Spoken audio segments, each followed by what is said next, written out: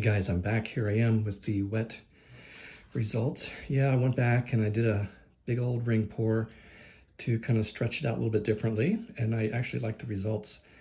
To me, this looks like a sunset. The land, the sun going down, the clouds, red and pink and gold and blue and dark at the top. It's my abstract ring pour slash um, landscape, I guess, maybe. Yeah, so I just thought I'd do this. This was a 12 by 36 canvas, not used that size before. Um, I do like the negative space. That's one of my favorite things on here. Um, and it can just see, it looks like the sunset.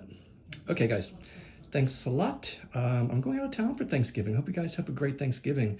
I don't think I'll get to painting for another week or two because a week from Thanksgiving is my opening in New York City at the Agora Gallery. If you're in New York City, please come by and say hi.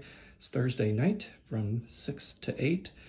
Um, and I'll be in a group exhibition with all my paintings and I'll be there for about three to four weeks. Okay, guys, take care. We'll see you real soon.